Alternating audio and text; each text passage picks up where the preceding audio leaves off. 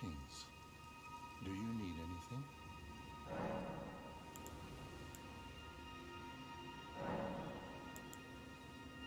Oh, what have we here? Very well, let us both learn together. Heresy is not native to the world. It is but a contrivance. All things can be conjoined.